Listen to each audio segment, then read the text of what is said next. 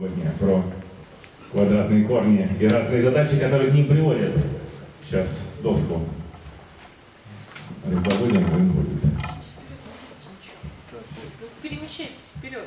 То есть самые квадратные корни начнут рисовать. Давайте, девушки, подъем. Вперед. Аня, вам особенно надо. Нет.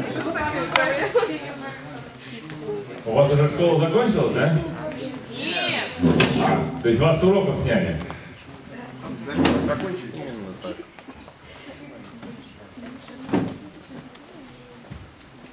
Гриш, давайте. Ладно, давайте. Саша, там три места как. Ром, вон туда к Ване Скобелеву. Давай. А вы из разных школ? Все из одной, да? Из этой. А, так это школа? Кванториум это школа, да? Что я, я по, по опыту других городов привык, что кванториум это такое отдельное заведение, в которое это самое, Мы ну, пригласили при- школьников наших, наших друзей школьников, мы пригласили. В конторе у нас занимаются ребята из У нас этого мини-доска. ну, нормально. Порядок, да. Сейчас еще вторую. Всякий случай. Так, ну и фломастеры, да? А я так может работаете? Проектор. Хотите. Сейчас, сейчас.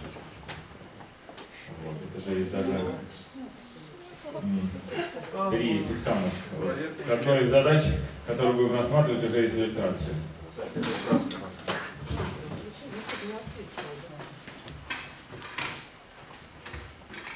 Михаил, вот сюда. Куда? Да, да. Если я просто буду держать, он выключится? Нет. Я не прошел проверку селекции. Я за второй доской.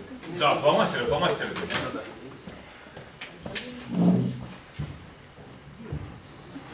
Две доски без фломастеров хуже, чем одна доска с фломастерами.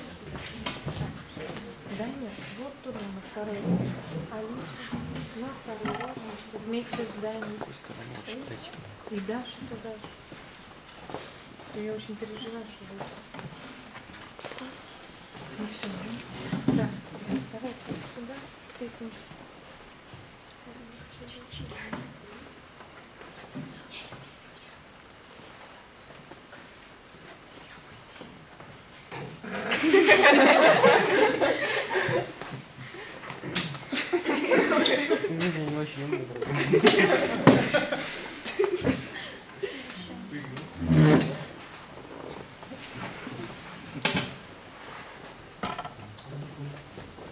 О, все. Да, можно начинать тогда. А, ну, я начну издалека. Когда-то две с половиной тысячи лет назад был семинар на берегу реки. Ну, это вообще все байки. Вот то, что я сейчас буду рассказывать, это все не подтверждено на 100%, конечно. Потому что на видео никто не записал две с половиной тысячи лет назад эту историю. Вот. Но вообще, э, вроде вели семинар, значит, Пифагор, пифа- пиф- пифагорейцы, они вели семинар. Там, Пифагор с друзьями занимались математикой. Ну, рассматривали разные числа, там, соотношения между ними. И вот а, в какой-то момент появилась необходимость рассмотреть число, а, которое задает длину диагонали квадрата. Ну, так вышло, так сказать, что э, можно же увидеть, да, вот эту вот длину. Увидеть можно, значит, оно каким-то числом обозначается. Но число у пифагорейцев было всегда, э, что такое число? Число есть дробь. То есть все числа, которые они рассматривали, это были дроби, отношения целых. Ну и как бы представить себе, в принципе, что а, какие-то числа могут быть другого вида, они совершенно не могли. И, соответственно, все, что появлялось, должно было выражаться в таком виде. Ну и вот один очень умный дядька, вроде бы по фамилии Евдокс, если верить этой легенде, он выступил у них на семинаре на берегу реки и доказал, что вот это число вот таким образом вообще не выражается никак, ни при каких целых и. То есть, как бы это вот, эм, вот эта длина, она не является, как сейчас бы мы сказали, числом рациональным. Ну, дроби, в школе говорят дроби, да, но потом во взрослой математике говорят рациональные числа. А, история, история говорит о том, история говорит о том, что его утопили в этой реке, и знания похоронили на долгое время, но потом все равно правда всплыла. Но вот э, насколько это правда, я написал, это, ну, в книге мы написали это, но потом было много критики, что это все сказки, байки, там ничего такого не было и быть не могло. Вот. Так что я это... а, так, сейчас, а еще, наверное, нужна тряпка, кроме фломастеров, э, чтобы иногда что-нибудь стирать. Вот, то есть... Ага, да, спасибо. А, сейчас, сейчас, сейчас, все, все... О, тут еще вопрос, что стирается, да? Не только что пишется, но и что стирается. Так, и, и вот, так сказать, так или иначе, а, ну давайте э, вот это вот, значит, рассуждение воспроизведем, ну и по пути мы там увидим многое, что вы уже, в принципе, в школе видели. Ну вот, например, прежде всего, как это число вообще описать, как к нему обратиться, вот эта длина, вот этой вот диагонали. Я сейчас строю такую картинку, а, я достраиваю еще 4 ровно таких же квадратика, да, и провожу еще 4 ровно таких же диагонали. Ну, понятно, у меня не получается сделать очень ровно, но ясно, что вот это квадрат. Ну, понятно, да? Квадрат. Вот, тут 45, тут 45, значит, тут всего 90, тут 90, все они одинаковые. Ну и вот что еще э, э, легко заметить, что каждый раз площадь, которая, э, которая этим квадратом высекается из каждого из этих четырех маленьких квадратиков, это ровно половина. Тоже очевидно, да? Значит, получается, что площадь этого квадрата это половина площади большого квадрата. А, ну давайте обозначим площадь, значит, длину вот э, одной такой стороны за один, тогда площадь большого квадрата 4. Соответственно, этого маленького 2. И получается, что если вот это вот за x обозначить, ну чему равна площадь квадрата со стороны x? Ну да, x умножить на x. То есть получается, что это такое число, квадрат которого равен двум, да? Ну, то есть число, которое мы теперь в современном мире называем словом корень из двух. Вот. И вот, собственно, вот этот самый Евдокс, он доказал совершенно строго, что этот корень из двух не может быть записан как отношение двух чисел, то есть с точки зрения пифагорейского кружка числом не является. Но как же он может не являться числом, если он задает длину вполне определенного отрезка? Он должен быть числом. Но вот они как бы встретились с жестокой реальностью в тот момент. А, ну, какое-то время, видимо, ее трудно было принять. Но потом она вошла в наш обиход а, совершенно твердо. Впоследствии примерно такая же революция произошла с корнем из минус единицы. То есть его тоже, так сказать, не хотели принимать, называли мнимым зачем-то, гнали отовсюду. Но все равно он нашел свое э, место. Э, он значит, превратился в комплексные числа, которыми оперирует сейчас вся математика и физика целиком. Но давайте пока мы будем говорить... Ага. А вот зеленый не стирается вообще. Да, перманентный маркер. Ну, значит, эта картина будет нам светить, как маяк. Теперь... А, ну вот есть еще... Ну, хорошо, пусть будет картина. Вот. А, итак, сейчас я проведу некоторое строгое математическое рассуждение, в результате которого мы все будем убеждены вот, э, в том, что этот корень из двух не есть дробь никакая. Но начнем с некоторого еще одного знакомого вам тождество, которое мы сейчас тоже увидим. Вообще, так сказать, если мы, а, если мы э, проводим занятия типа как последователи а, школы древних греков, да, то мы должны стараться видеть как можно больше и, и писать формулу как можно меньше. Но уж там насчет формулы, это уж как получится, может быть, их и будет много все равно. Но видеть нужно как можно больше. Вот давайте увидим некоторую формулу, которую вы знаете из школы. А пусть есть некоторые два числа А и Б. Но для простоты положительных, там с отрицательными уже потом отдельный разговор всегда идет. Там это просто манипуляция со знаками, когда отрицательные числа, с ними какие-то тождества выводятся. Это просто То же самое с положительными, только там нужно за знаками следить. Значит, я сейчас беру а, некоторый э, квадрат, да, и вот квадрат именно со стороны А. Ну, а b, допустим, оно меньшее размером, да?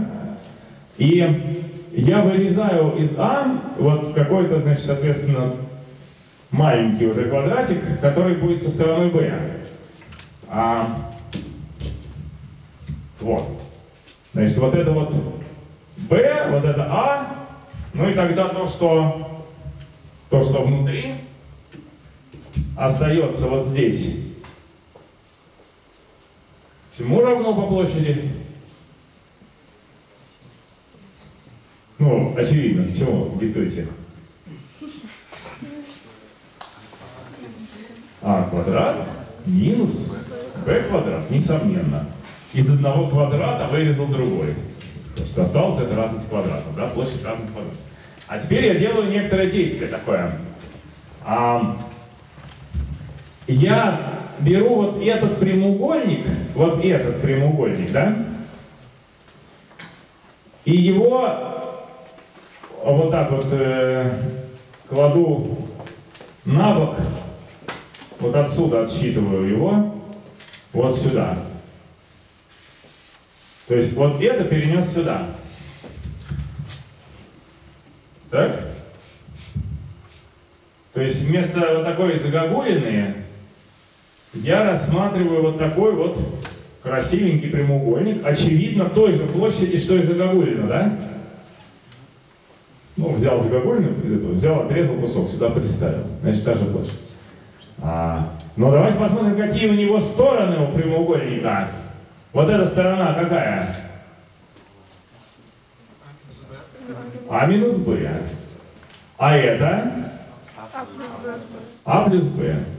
Ну, вот, собственно, мы установили по-гречески с помощью древ... древнегреческой математики хорошо знакомую вам формулу, которая есть разность квадратов, да?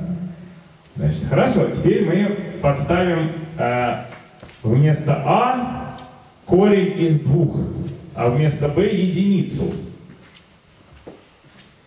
Тогда какое получается у меня в результате тождество числовое уже, чисто числовое тождество.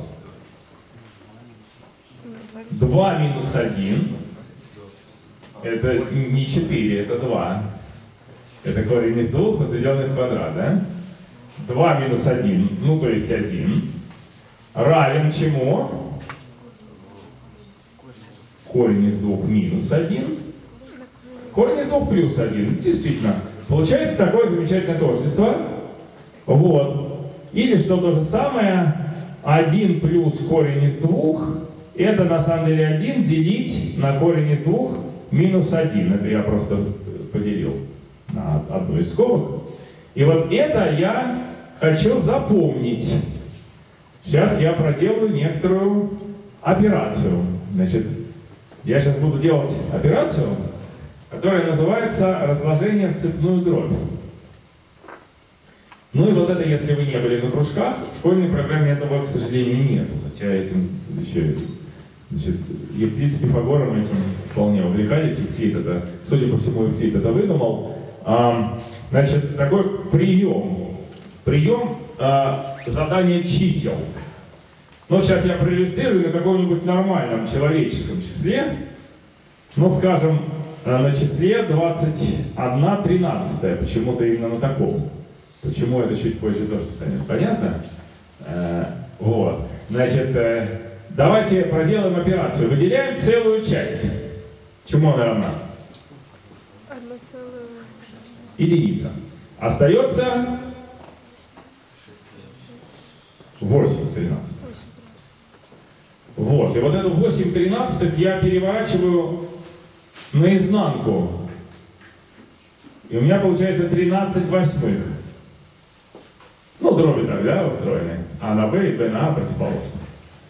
Теперь я опять, коли же у меня опять получилась дробь, которая неправильная такая, да, у меня числитель больше знаменателя, я опять могу выделить целую часть. Чему она равна? 13 восьмых. Единица. А сколько остается? 5 восьмых. А если перевернуть, то 8 пятых. 8 пятых. А если выделить целую часть, 1 целая. 1 3 пятых. плюс 3 пятых. 3 пятых. А если перевернуть, 5 третьих. 5 третьих. Выделить целую часть, 1 целая. 1. Остается 2 третьих. 2 третьих. Перевернуть 3 вторых. Выделить целую часть. 1 целая на вторая. 1. Вот. И остается 1 вторая. А тут уже выделять целую часть мы выделили, получилась она же двойка, и больше ничего нет. И здесь я поставил жирную точку. Вот это называется разложением в цепную дробь обычной дроби. Любую дробь можно превратить цепную таким образом. Ну, довольно понятно, да, что то же самое можно делать. Только там не обязательно будут единицы вот так вот один за другим вылезать, а могут быть совершенно произвольные числа. Вот. А, например, давайте вот такое число сейчас возьмем. Так, 355 делить на 113. Давайте разложим. А, почему такое тоже... Вот здесь будут два странных числа, да, написано некоторое время. Потом они а, в дальнейшем как ружье выстрелят в какой-то момент. Ну, там, п- про это мы можем сразу что-нибудь понять, если у вас есть с собой калькуляторы, но не, не сию секунду. А пока давайте разложим. Значит, сколько здесь целых? Три, да? Так, а сколько остается? 16 113, да? Так, а это 1 делить на 113 шестнадцатых? 113 шестнадцатых. Что там, 7, да? 76, 42, 24 в уме. Ну да. Значит, получается 7 и остается... Сколько шестнадцатых?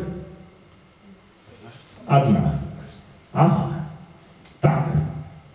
Вот. Видите, тут совершенно другие числа, тут какие-то огромные вылезли. То есть вот, вот то, что вот здесь будут единицы, это совершенно не очевидно, а наверху по определению, по построению всегда будут единицы, потому что мы переворачиваем дроби.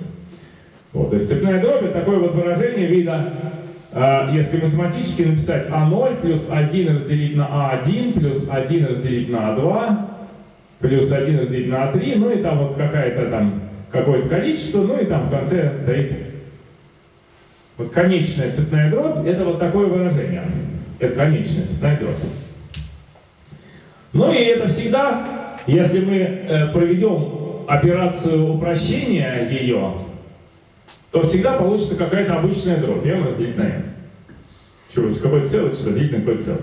Но я утверждаю, что обратно тоже верно, обратное утверждение тоже верное, что если я взял э, какое-то отношение двух целых чисел и начал раскладывать цепную дробь, то в какой-то момент произойдет уже деление совсем нацело, и э, дальнейшего остатка не будет. Но здесь это уже здесь произошло, здесь произошло через довольно много шагов. Ну, потому что уменьшаются, да, вот у меня был чис- числитель, знаменатель.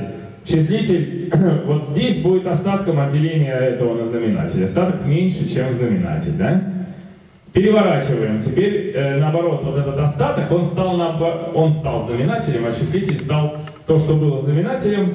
Ну и вот как бы мы снова делим с остатком, снова уменьшается по сравнению с предыдущим, да, знаменатель. Следующий будет еще меньше. То есть у меня вот эти вот знаменатели, которые тут возникали, они каждый раз все меньше и меньше становились. И понятно, что если у меня, э, там, если я проделаю количество действий, которое там равно просто значению первого знаменателя, да, вот там в этом случае это за 113 действий уж точно, да, все закончится, потому что каждый раз будет убывать, на самом деле гораздо быстрее убывает, и вот видите, здесь вообще за 3 закончилось, там, там тоже за сколько-то, за несколько раз. Но э, ясно, что каждый раз знаменатель будет следующий меньше, чем предыдущий, поэтому в конце концов возникнет делимость на целое, и дробь закончится.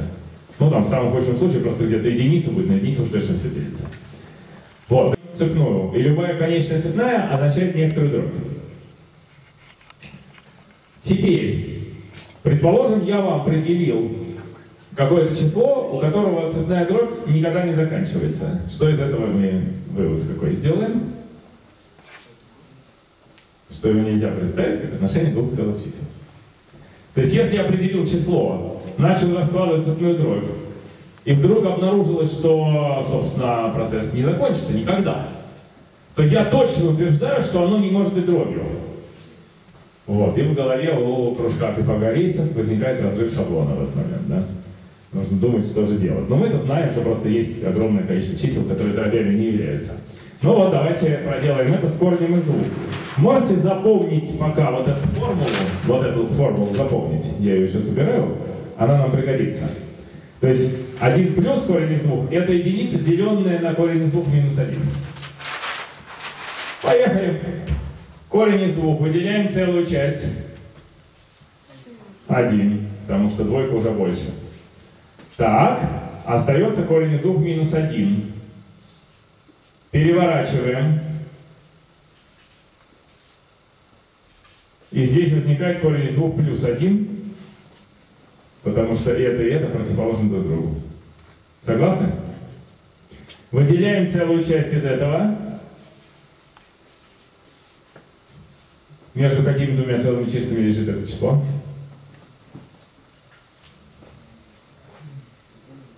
Да, 2 и 3, между 2 и 3. То есть корень из двух он между 1 и 2, а корень из двух плюс 1, соответственно, между 2 и 3. 2, а сколько остается?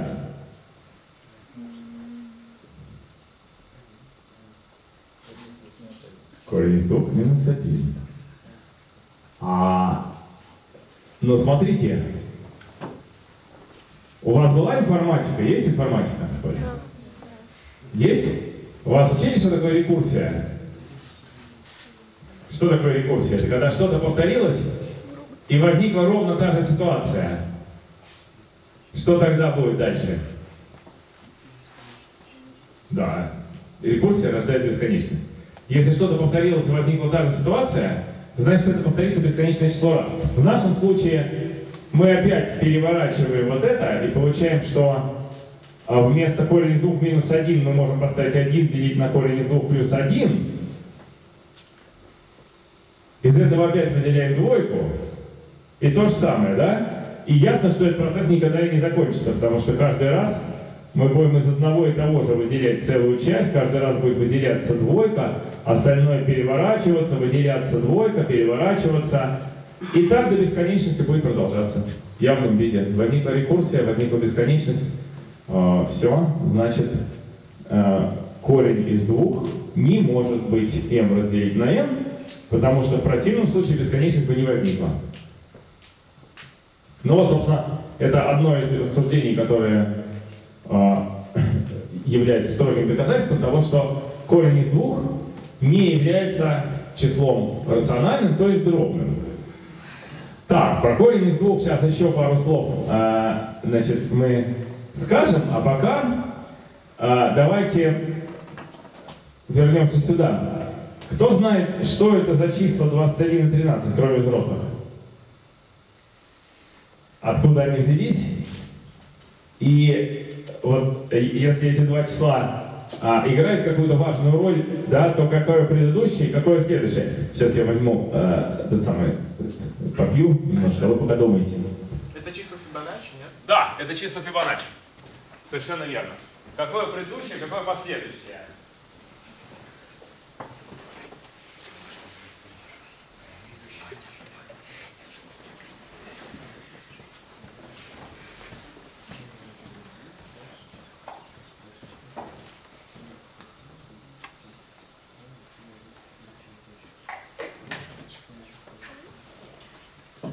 Какое, пред- какое предыдущее и какое последующее?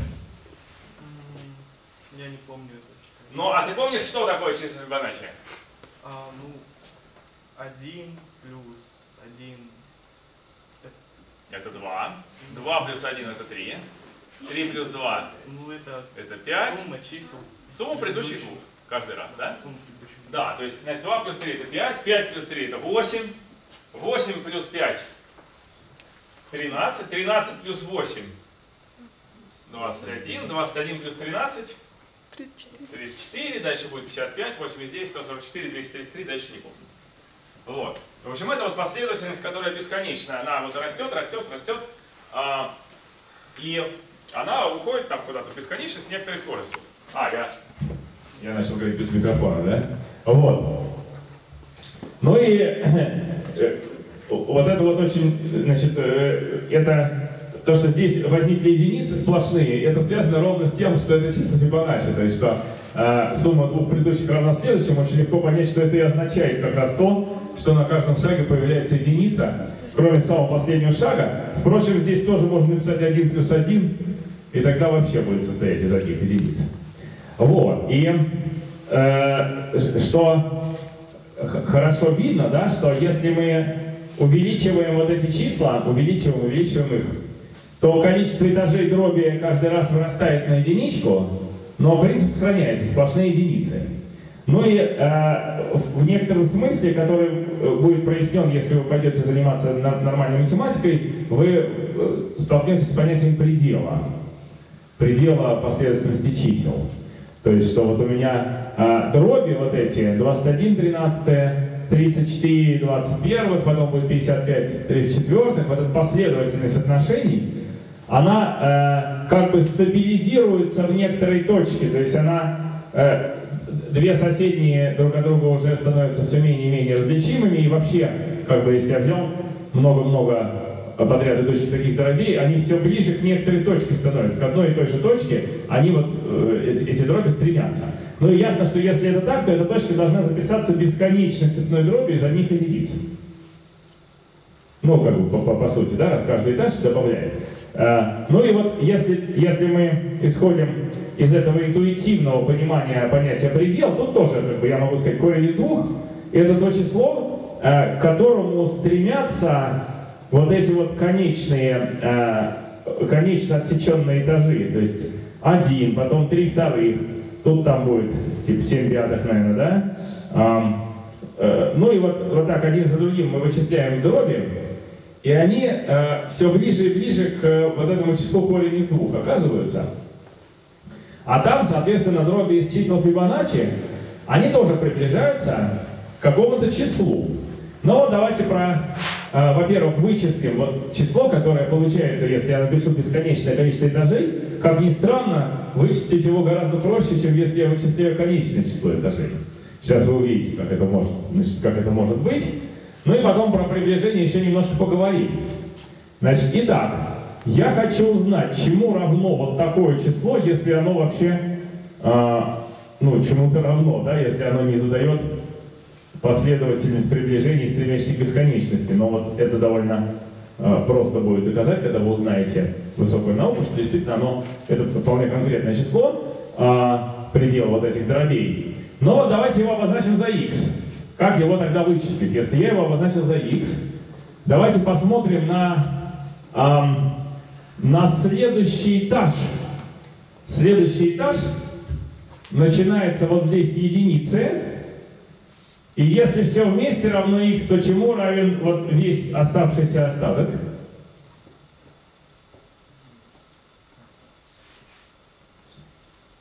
А как вот этот остаток связан со всем числом одновременно?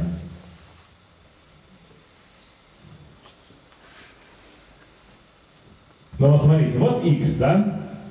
А вот то, что начинается отсюда и тоже как какое число задает. Какое число?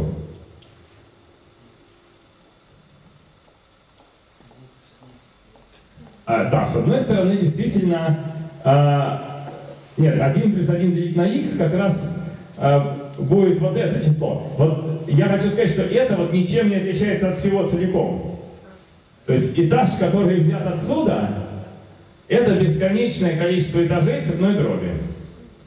Этаж, который взят со второго шага, тоже является бесконечным количеством этажей цепной дроби. Все. Значит, то, что внизу зеленым, обозначен тот же самый x. А вот теперь уже можно записать, что это означает, что x должен быть равен 1 плюс 1 разделить на x. Потому что вот эта бесконечная дробь, это 1 плюс 1 делить на такую же в точности бесконечную дробь. Значит, если это x, то x это 1 плюс 1 делить на x. Получается вот такое уравнение. Его можно решить. x квадрат равно x плюс 1. Или x квадрат минус x минус 1 равно нулю. Так, здесь вы мне поможете, правда, школьники? Да, они прям сейчас по одному начнут выходить и помогать. Ну, кто решал квадратное уравнение? Ну, корень из пяти. Диктуйте. Ну, один плюс четыре. 1. Плюс четыре. Плюс, а может быть минус. Что? Четыре. Почему 4? 4 корень из 5, да. Ну и поделить на два. Да. Вот. Но действительно, если я возьму минус, получится отрицательное число. А отношения, ну, а- а ясно, что отношения вот эти, они все положительные, если они а, в пределе к чему-то приближаются, то тоже к положительному числу. Поэтому в данном случае надо взять именно плюс, и получается ответ, что цепная дробь из одних единиц обозначает вот такое вот число. Кто знает, кроме взрослых, его название? На букву З начинается. Поле чудес. Какие еще есть буквы в этом слове? О, Сейчас, да. Так, это два слова, да. И здесь буква Е. прекрасно. Что уравнение? Играем в поле чудес. Так.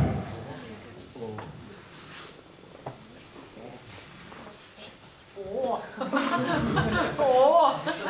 Да, золотое сечение. Молодец. Ух ты! Кто у нас там молодец, я не расслышала. Подними руку. Кто? О, Ваня.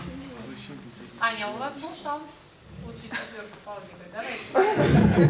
Следующее Вот. В общем, это действительно то самое знаменитое золотое сечение, которое появляется во многих видах, во многих задачах оно появляется. В общем, оно связано э, с- тоже с корнем, тоже с корнем, только из пяти, а не из двух. Вот у нас лекция математика квадратных корней, будут разные квадратные корни из разных чисел. Появилось число корень из пяти. А ну и из того, что мы получили, Заодно ясно, что корень из пяти это тоже не дробь. Потому что если бы она была дробь, то и x, вот этот вот, был бы тоже дробью, да? Если бы это дробь была, то и дробь плюс 1 делить на 2 это тоже дробь. Но тогда бы она выражалась конечной цепной дробью, она выражается бесконечной. То есть всегда, когда у вас есть ответ, что что-то оказалось бесконечной цепной дробью, вы уже совершенно точно можете сказать, что это что-то является не обычной дробью, а э, иррациональным, как говорят математики, числом. То есть не дробь, это говорят иррациональное число. Так, хорошо. А, а вот теперь фокус-мокус. У кого калькулятор с собой? Сейчас продиктуешь, чему это равно а, с точностью до какого-нибудь знака. Вот это вот 355 113. Диктуй мне а, прямо вот подряд. пи. 3, запятая 14, 15, 92, 92, 04. Так.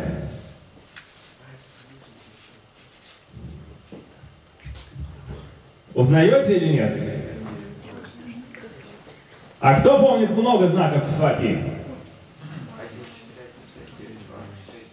Молодец, 9, 2, 6, 5. Потом 3, 5, по-моему. Да, дальше что-то еще. Вот. Но я к тому, что, смотрите, нас мистифицировали в течение шести знаков после запятой. То есть какая-то дробь, какая-то плюгавая дробь, там, два целых числа в пределах тысячи, обозначает с огромной точностью число π, с точностью одной миллионной. Здесь 6 знаков после запятой совпадают с числом π. Но а, вот это вот, так сказать, вот это приближение было известно очень давно, По-моему, даже в Древнем Египте еще. Но точно не помню. То есть в линии окружности... Вот, нет, нет, пожалуй, я не прав. Китай. Китай, да? В Китае выдумали. Вот, вот это приближение. Но они как бы, они не знали, как вообще такие приближения строить. Они нащупали это, вот, как-то нащупали. Но на самом деле э, есть очень хорошие, очень хороший и важный результат, что вообще, если вы хотите получить какие-то хорошие приближения, то самые точные приближения всегда, без исключения, дает цветная дробь этого числа.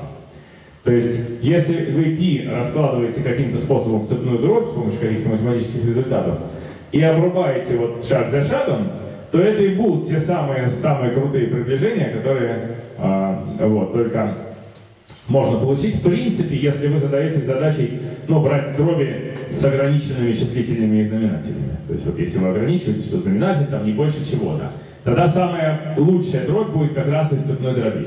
И то же самое про все остальные числа, про корень из 5, вот этот вот плюс 1 пополам. То есть, чтобы получить приближение к золотому сечению, самые лучшие приближения это цепные дроби. Вот. А, соответственно, чтобы получить приближение к корню из двух, надо обрезать вот ту цепную дробь, которая у нас была. 1 плюс 1 делить на 2, плюс 1 делить на 2, плюс 1 делить на 2, плюс и так далее. То есть те, что сплошные двойки. Ну вот сейчас мы а, этот самый корень из двух э, пообрезаем.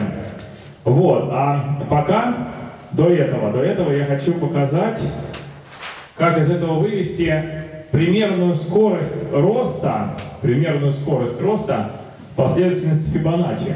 То есть вот у меня есть вот эта последовательность, которую, так сказать, изучают в школе, которую придумал, как его, Леонардо Пизанский, да, по кличке Фибоначчи, предварительно отучившись, а, получив высшее образование в арабских странах.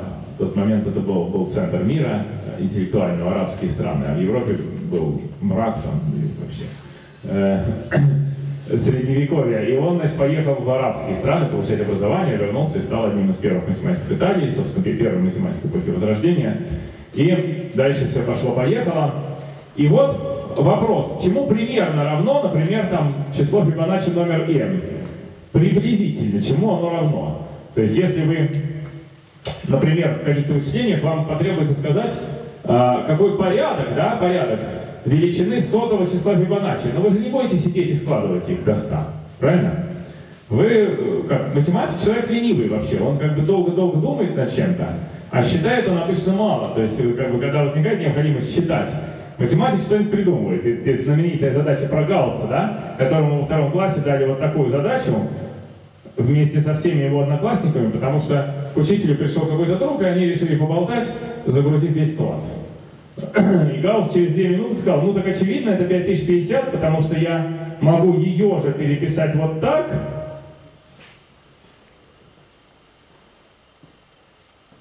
и тогда удвоенная будет равна сумме вот таких вот столбиков, в каждом из столбиков в сумме 101 получается. Вот, то есть удвоенная равна 101, взятая 100 раз, то есть 10100. Делим на 2, получаем 5050 и все. Вот такая классическая лень математика, да, мы не будем вычислять эту сумму.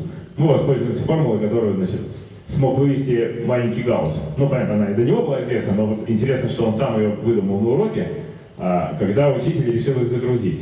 Ну, вот так же, не знаю, представим, что ваш учитель решил вас загрузить и дал вам задачу посчитать сотое число Фибоначчи. А вы скажете, а, сейчас мы с Джулием. Чему равно отношение k плюс первого к атому? Ну, в точности мы не знаем, но мы видим, что это, э, что это очень близко к э, длинному бесконечному вот этому вот э, ряду единиц. А значит, это примерно равно корень из 5 плюс 1 пополам. Но если так, то чему равно отношение через 1? Ну-ка.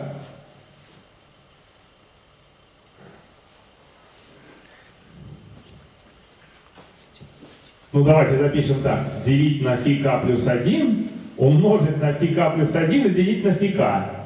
Тогда понятно?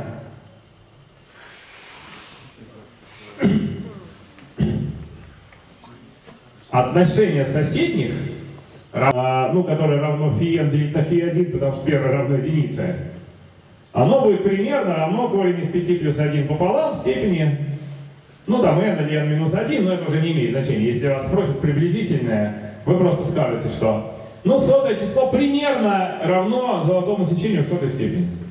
И это будет довольно точная э, оценка. Ну а сотый, ну, там, в сотую степень возвести какое-то десятичное число, там, на калькуляторе это быстро сможете сделать. квадрат, квадрат, квадрат, квадрат, квадрат, квадрат, это будет 64 степень. Потом домножаете это уже вычисленную 32 да, знаете, как быстрой степени? Логарифмически быстро вычислять степени. Но это вас, наверное, учили на информатике.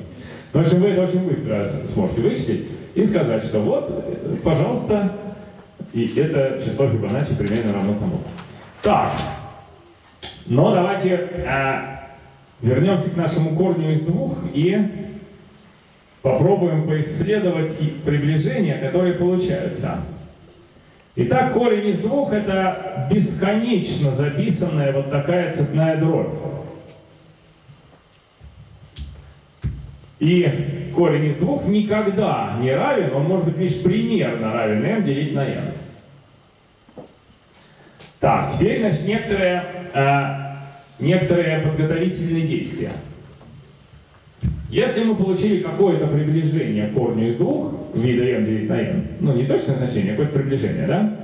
То тогда при возведении в квадрат тоже будет приближенное равенство. Какое-то приближенное равенство, что двойка, да, будет примерно равна m квадрат делить на n квадрат, где m и n это целые числа.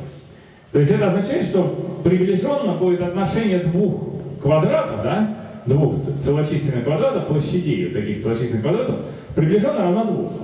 Ну или можно перекинуть m квадрат сюда и записать это в таком виде, что m квадрат примерно равно 2 на n квадрат. Но в таком виде это уже интереснее, потому что это два целых числа. Целых положительных числа. То есть получается, что если у меня какая-то дробь приближает корень из двух, то тогда выполнено приблизительное равенство двух целых чисел. А что такое приблизительное равенство двух целых чисел? Вот в идеале, ну если они не могут быть друг другу равны, то в идеале, ну, соседние, да, то есть как бы самое лучшее, что можно придумать в этом случае, это соседние. Ну вот соответствующую задачу найти все такие целые числа m n, все пары целых чисел m и n, такие, что квадрат m минус удвоенный квадрат n равно плюс-минус 1 называют уравнением Пелля. Но однако Пель, судя по всему, к нему отношения не имел, а выдумал его все тот же Пьер Ферма, который оставил нам самую великую загадку всех времен, разгаданную в 1994 году, в 95 Вот, то есть это уравнение, э, его написал Ферма, ну и там его некоторое время решали. Сейчас известны абсолютно все решения и методы их получения. И известно, вот, значит, доказана теорема, да, но это там немножко больше, чем одна лекция, и тут нужны некоторые математические навыки, чтобы доказать. Короче, вот все ее решения, это все обру, обру, обрубления вот этой вот дроби. То есть все, все, которые мы будем получать, так, они получаются таким образом. Ну, например, 1, это что такое? Это 1 разделить на 1. Ну, ну, теперь подставляем 1 в квадрате минус дважды 1 в квадрате. Это минус 1. Ну, пока все очевидно, да? Следующее, что будет? 3 вторых. 3 вторых. Вычисляем 3 в квадрате, это что? 9. Минус дважды 2 в квадрате? 9 минус 8. Плюс 1, да? Так, давайте здесь обрубим. 2 а, плюс 1 вторая это 5 вторых. Переворачиваем 2 пятых, получается 7 пятых. 7 квадрат это что? 49. 5 квадрат? Удвоенный 50. 49 минус 50 опять получается минус единица. Через раз то минус, то плюс. Так, а здесь попробуем в уме. Ну, вначале то же самое. 5 вторых, 2 пятых, да? Теперь 2 плюс 2 пятых. Кто у меня быстро? 2 плюс 2 пятых. В виде дроби. 12 пятых. Переворачиваем. 5 двенадцатых, прибавляем единицу. 17 двенадцатых. Кто помнит квадрат числа 17? 289. Так. А кто помнит квадрат числа 12? 144. Четное в квадрате не может быть нечетному равно. 144. Умножаем 144 на 2. 288. Опять попадание. 289 минус 288. Опять плюс единица. Ну вот так будет шаг за шагом продолжаться. Вот это, а, вот это приближение уже очень точное, достаточно точное, оно а, играет некоторую особую роль. Сейчас мы его посчитаем. Во-первых, тоже оно было где-то исторически. А, значит, оно как приближение для диагонали квадрата где-то выпадало исторически. А во-вторых, оно имеет отношение к некоторому вполне знакомому вам всем объекту. Сейчас вот Сергей уже готовится его предъявить, но пока не предъявляй. Вот. Давайте быстро, сейчас значит, будем быстро считать. 5 вторых, 2 пятых, 12 пятых, 5 двенадцатых. Только теперь э, нужно 2 прибавить, а не 1. Пишите, пишите. Не 17 двенадцатых, а 29 двенадцатых. Пишите. Ну, давайте в уме. 12 29. 12 29 плюс 2. 12 плюс 2 жды 29 делить на 29. 70. Чуть-чуть, да. 70 29. Переворачиваем 29 семидесятых и при- прибавляем единицу. Так. Значит, получается число 99 семидесятых. Прежде всего, калькулятор Сейчас мы посмотрим, насколько он отличается от корня из двух. Вот здесь мы посмотрим, чему равен корень из двух, а здесь чему равен 99 семидесятых. 1 запятая 4, 1, 4, 2, 8, 5, 7, 1, 4, 3. Так, а этот? Э, Может кто-то помнит? Ну, До такого знака никто не помнит, даже я. Но, 41, 42, 13, 56. отлично, 24. достаточно, да. Итак, на этот раз нас дурили в течение четырех десятичных знаков. Но и это числа тоже поменьше. Там были 355 113 для π, а здесь 99 семидесятых. То есть, за- за- за- взяв задачу найти наилучшее приближение корня из двух в рамках дробей, у которых числитель знаменатель не больше 100, мы получаем 99 семидесятых и приближение точное с точностью до одной десятитысячной. То есть для любых там практических вычислений вполне годное. Вот это вот приближение было известно. А что будет, если я умножу на 3 и 99 и 70? Что у меня получится? Какая дробь? 297 на 210. А что такое 97 и 210? Ну ладно, шпаники, наверное, еще не знают. Сергей, показывай. Это размер обычного листа А4, который вы видели сто раз в жизни. В длину ровно 297 миллиметров, в ширину ровно 210 миллиметров. А почему так, почему, почему так все устроено? Почему лист, ну как бы его хотелось бы вообще сделать вот именно корень из двух, но это не получается, потому что корень из двух это не дробь. Поэтому взяли некое приближенное значение и сделали так. А почему именно, почему лист, вот желательно, чтобы был именно размера, что вот эта единица измерения, здесь корень из двух. Вот, ну как бы, почему, почему эта сторона должна быть в корень из двух раз больше, чем эта сторона? Давайте подумаем вместе. Чтобы при делении получалась такая... Молодец, что в при делении получилась та же пропорция. То есть, если у меня а, вот эта вот неизвестная величина равна x, то я хочу, чтобы отношение x к единице, это отношение длинной к э, маленькой к большом листе, было такое же, как маленькой к, э, как большой к маленькой в малом листе, но в малом листе наоборот единица здесь, а тут половина от x. Понятно или я ускорился слишком быстро? Понятно, да? То есть вот разделили, вот здесь длинная стала короткой старой, а короткая стала половиной старой длинной. И получилось требование, что была такая пропорция, что в точности опять приводит к тому же. Это 2 делить на x, и получается уравнение x на x равно 2. То есть определяет корень из двух именно, что корень из двух раз, вот, да. И если у вас здесь был какой-то портрет и написано там «ищется преступник», если нужно везде повесить этот портрет, и у вас бумаги мало, вы режете пополам, фотографию налепляете, и преступник не, не становится ни шире, ни уже, у него те же самые пропорции лица. То есть важно, чтобы половина имела те же пропорции, что и целый лист. Поэтому и корень из двух. Вон, видите, преступник и два преступника. Вот. Ну и на самом деле есть еще один классный метод. Сколько у нас времени еще?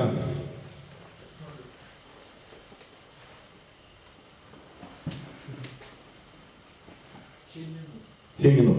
Есть еще один классный метод вычисления приближений. А, давайте я его расскажу, но не на примере корня из двух пока, а на примере корня из трех.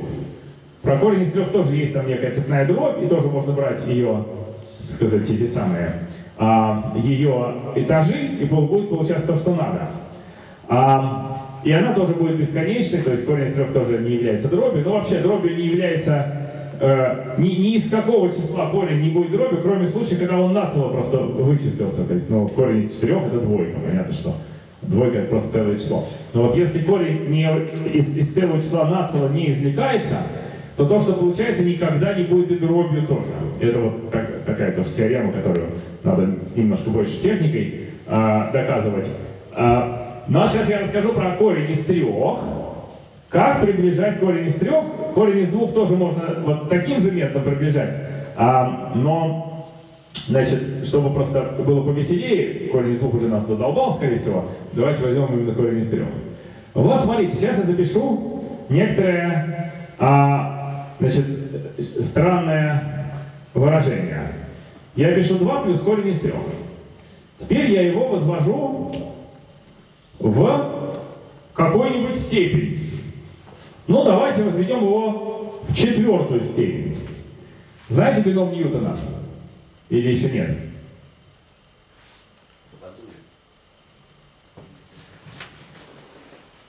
Давайте сейчас вспомним, что такое бином Ньютона.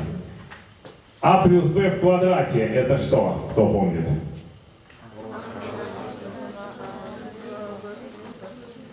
Так, а плюс b в кубе кто помнит?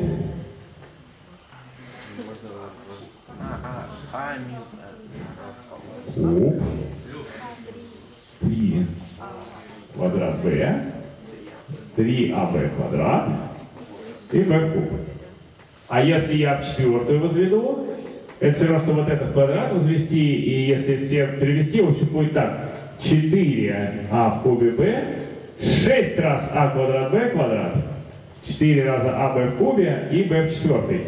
Теперь как вообще это делать? Вот что будет, если я возведу в степень n? А, вот здесь будут некие коэффициенты, которые вот вместо 4, 6, 4, да? Первый из них будет просто n n а в n минус 1 b.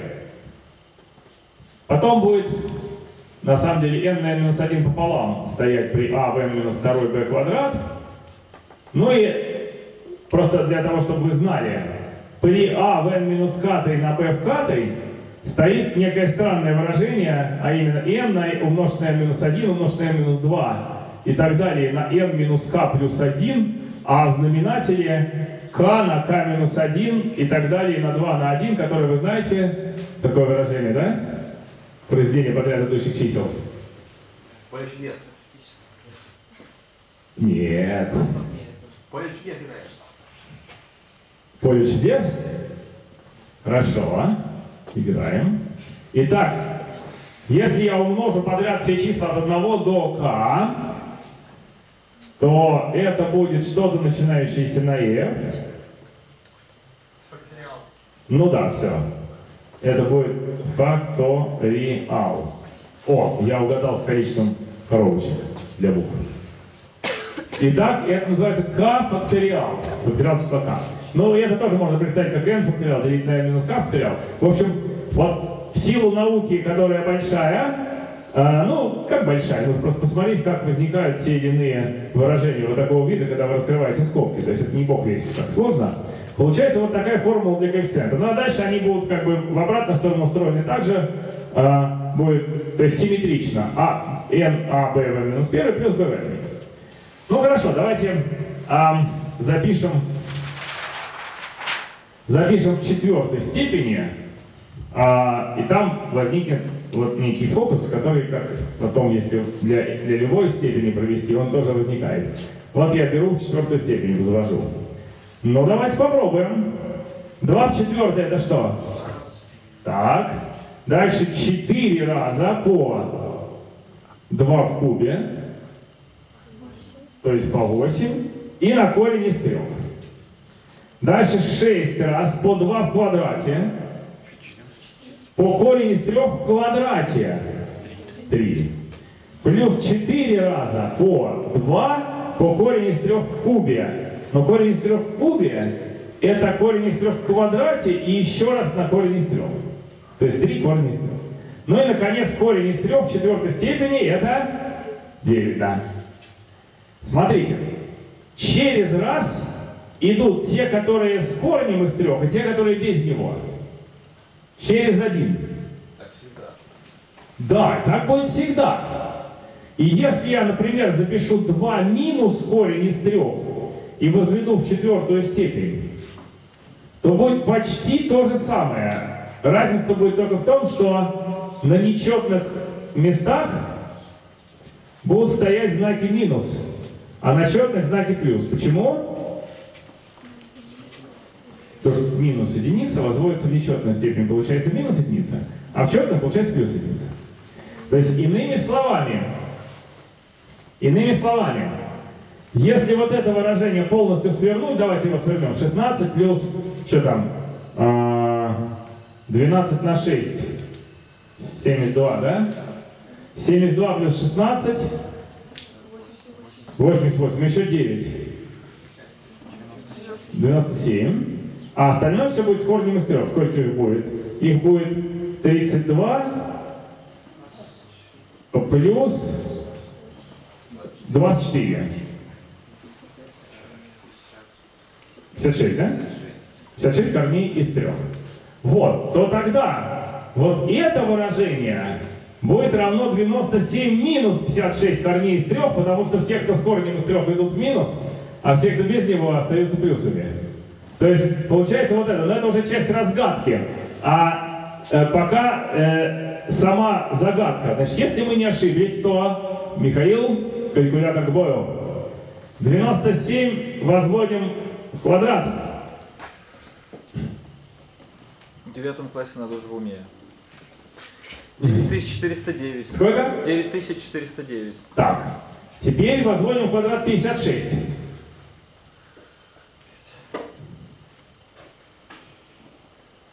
Три тысячи сто тридцать шесть. Теперь умножаем это число на 3. 3136. Девять тысяч четыреста восемь. Ага! Видите? 97 в квадрате минус трижды на этот раз 56 в квадрате равно единице. Это тоже как бы уравнение Пели, только новое для корня из трех. Для тройки написано, не для двойки. То есть мы получили таким образом решение уравнения целочисленного m квадрат минус 3n квадрат равно единице. Все уравнения. А? Плюс-минус. А вот минуса не бывает. Это отдельная задача на кружок математический. В случае корня из трех минуса не получится. Только плюс. В случае корня из двух будут чередоваться. То плюс, то минус. В случае корня из двух тот же метод годится, только надо возводить в разные степени 1 плюс корень из двух. Какую-то там, например, в 11 степень возвели. Тогда будет с минусом выражение соответствующее m квадрат минус 2n квадрат. А если в 12 степень, будет с плюсом. А здесь будет всегда с плюсом. Ну, наверное, нужно фокус открыть все-таки, да? Фокус надо раскрыть и на этом завершить. Иначе будет нечестно. Я пришел под Новый год, показал фокус и ушел. Давайте я все-таки вам раскрою секрет, почему так выходит. Ну, давайте и, и то, и другое. Вот 1 плюс корень из двух. Если я изведу в n степень, получится m плюс n корней из двух после того, как я соберу ну, вместе все, которые с корнем из двух были, и все, которые без него. Но тогда 1 минус корень из двух в n будет равно m минус n корней из двух по вышеупомянутым причинам. Знак минус попадает в точности в те слагаемые, где корень из двух возвращается. А если четную степень, то минус становится плюсом, и корень из двух становится нормальным целым числом. Но тогда, что будет, если я перемножу эти два тождества? 1 плюс корень из двух степени n умножить на 1 минус корень из двух степени n. С одной стороны, это то же самое, что m плюс n корней из двух умножить на m минус n корней из двух. А с другой стороны, это что? И это что? 1 минус 2 в n.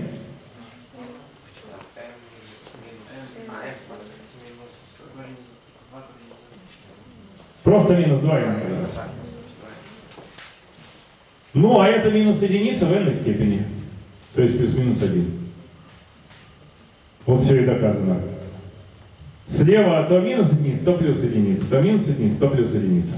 А справа m квадрат минус n квадрат, и каждый раз все больше и больше. Ой, я прошу прощения, здесь надо поставить k по понятным причинам, да?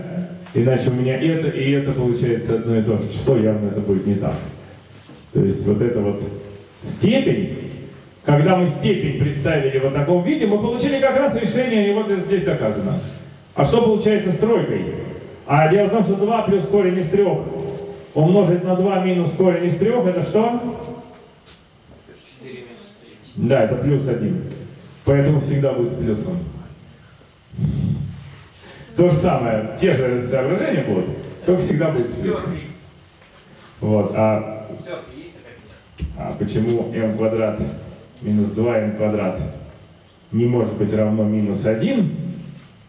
Ой, минус 3m квадрат не может равно минус 1. Это делается с помощью арифметических остатков от деления на 4. Я думаю, что вы сами это доделаете, если у вас будет какой-нибудь кружок про остатки.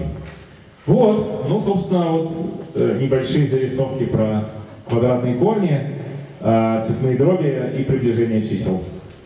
Всех с Новым годом! Осталось здесь записать а, канал, на который я вас всех приглашаю. А? Можно было получше написать на замене бумагу. А, А вы пока, ребят, подумайте, у вас есть какие-нибудь вопросы? да, вопросы задавайте, конечно. Пятерка только получится с пятеркой. Конечно. Э, Конечно, получится. Единственное, что нужно угадать первое решение. Тут всегда э, вот самое сложное в этой науке, в диапазоне управления, угадать первое решение. С корнем из двух, с корнем из трех мы это смогли сделать. А с пятерки надо придумать первые какие-нибудь целые числа, такие, что m квадрат минус 5n квадрат равно единице. Вот. Ну, можно поугадывать, да? Поугадывать, когда это будет так. Но если вы не хотите угадывать, тогда надо корень из пяти просто раскладывать цепную дробь. Это тоже можно, конечно, сделать. Ну, кстати, можно действительно, почему бы не сделать? Корень из пяти это 2 плюс а, корень из 5 минус 2, да, то есть 2 плюс 1 делить на... Вот тут нужна некоторая арифметика. 1 делить на корень из 5 минус 2. Что это такое? Избавление от иррациональности в знаменателе, правда? Корень из 5 плюс 2 делить на 5 минус 4. А, то есть, а, тут все просто. 2 плюс корень, то есть будет вот так, как я понял. Да? В общем-то. Якобы просто вот так будет. Но если я правильно написал, тогда 9 четвертых, то есть 9 квадрат минус 5 и 4 квадрат должно быть равно плюс-минус единице. Все, да? Все верно. Ну вот, а дальше берете 9 Плюс-минус или... но а, как бы у нас получилось только плюс, а, может ли быть минус 1, а, тут плюс, тут, тут 0 или 1, минус 0 или 1, да, нет, почему-то, по идее, можно было бы себе представить, что четное минус 5 квадрат нечетного. Априори я не вижу причин, почему не может быть минус единица, но, но, ну давайте проверим следующую, например. Сколько у нас будет? 16 17 четвертых, 4 семнадцатых, 2 плюс 4 семнадцатых это что? 38 семнадцатых, да? Так, 38 в квадрате ранее рекомендуется для под- подготовки к будущей серьезной жизни. Не к ЕГЭ, не к Олимпиадам, не к поступлению, а именно к будущей серьезной жизни. Чтобы проще было потом учиться математике. Там есть книга для скачивания свободного. Книга «Математика для гуманитариев». Это ваше домашнее задание. На все каникулы прочесть целиком книгу «Математика для гуманитариев», да? Вот, ну или хотя бы до половины. Книга математика для гуманитариев? Да. Точно. Потом. Скачивайте, читайте. Так, что там еще есть? Ну, там много всякой всячины есть. Короче, вот, вот эта вот вся империя, да, математическая империя. Сюда я вас и приглашаю. Вот. Спасибо. Еще вопрос, ребят, еще вопрос. У вас перед, перед вами живой математик. Если вас что-то, что-то мучило в математике, интересовало, задайте этот вопрос. Ну ладно, тогда мы подарим Алексею Владимировичу книгу Наталья Королева, отец. Ого! А, а, а Королеве, да? С Новым годом вас. Вот это да, спасибо огромное. И можно небольшой, Спасибо. небольшой математический Значительно утяжелил мой рюкзак для похода по лесу. Ну, я вам помогу, я вам помогу. Ничего, ничего, А нормально. вот что мучит меня в Классно, математике? еще есть фотографии. Э, Спасибо. Вот британские ученые на YouTube, Минус 112. э, ну, предположим, что это S. Все знают, чему равен S. Да, да, да, все. Чуть добавим немножко нашей российской смекалки, да? 2 плюс 3 плюс 4, сколько будет? 9, да? Хорошо, следующая тройка. 5 плюс 6 плюс 7. 18. Следующая тройка.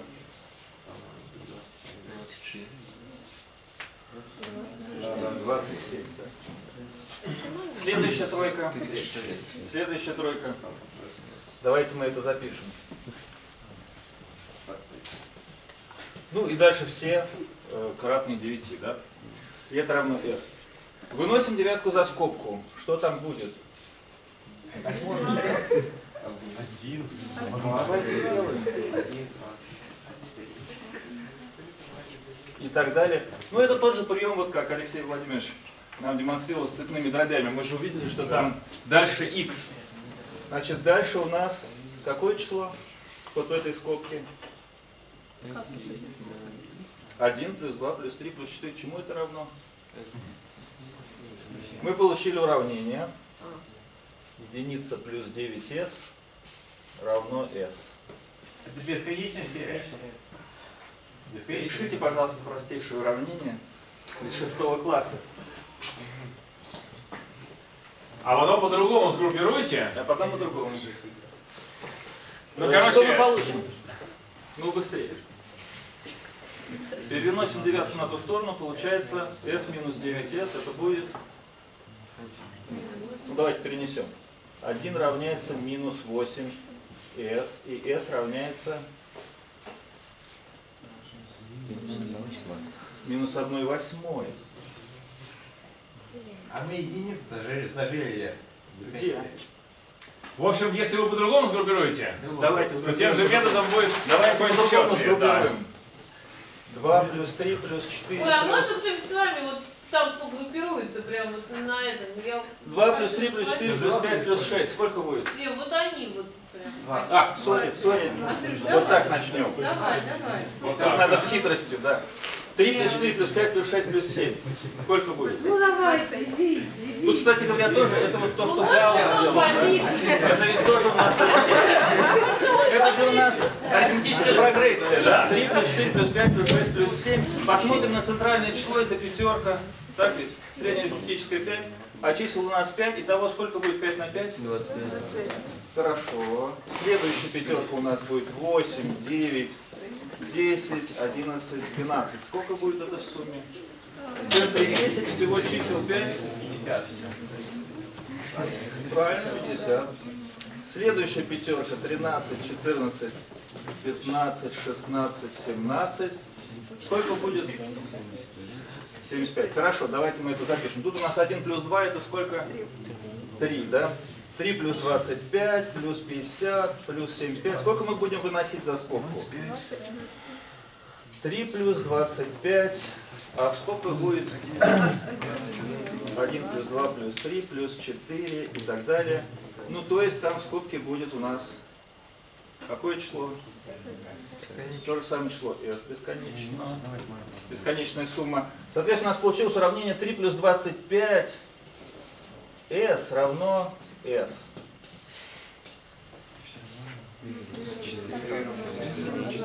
Давайте решим это уравнение.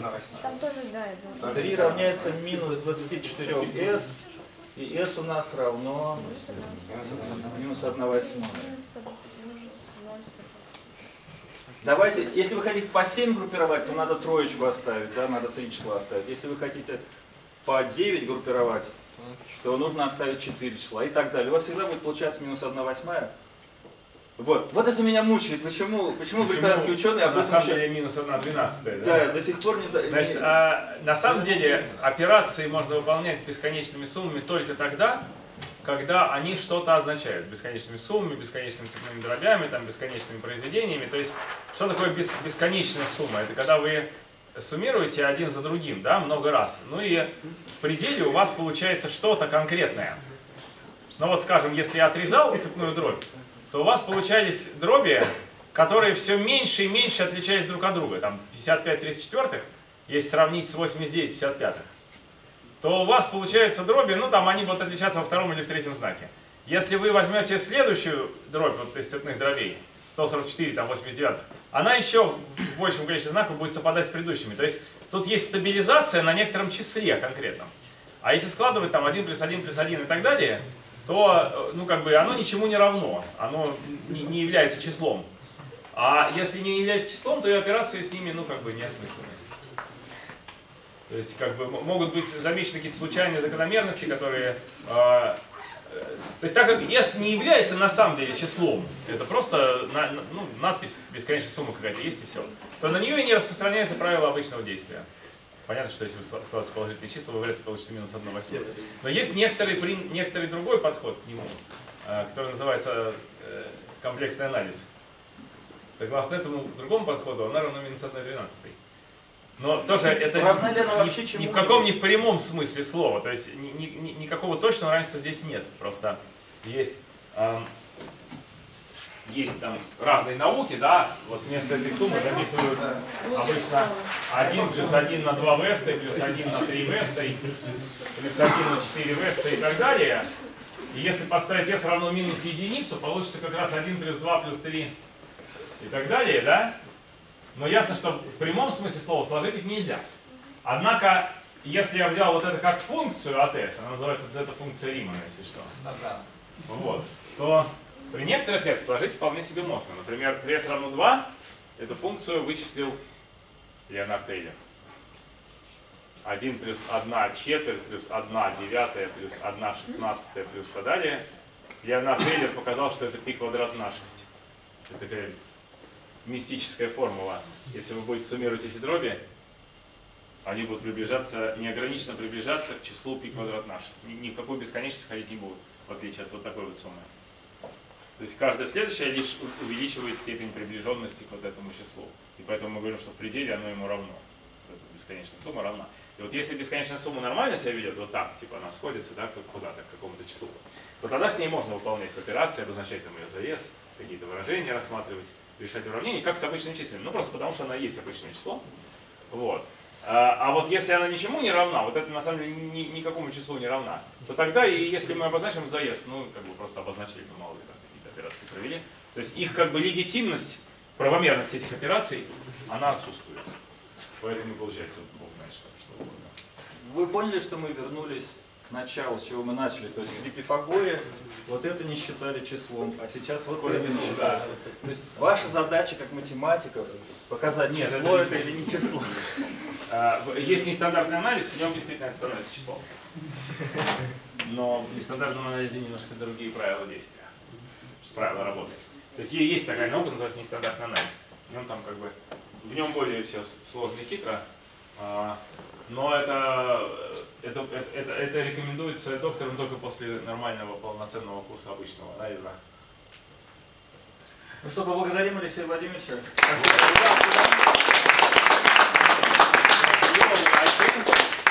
Хороших каникул. Спасибо большое. скорее.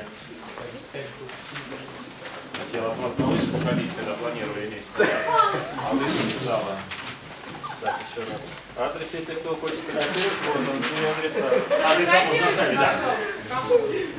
А, ну я для вас Ну вы всегда найдете просто по фамилии Саватеев. Силатеев можно набрать.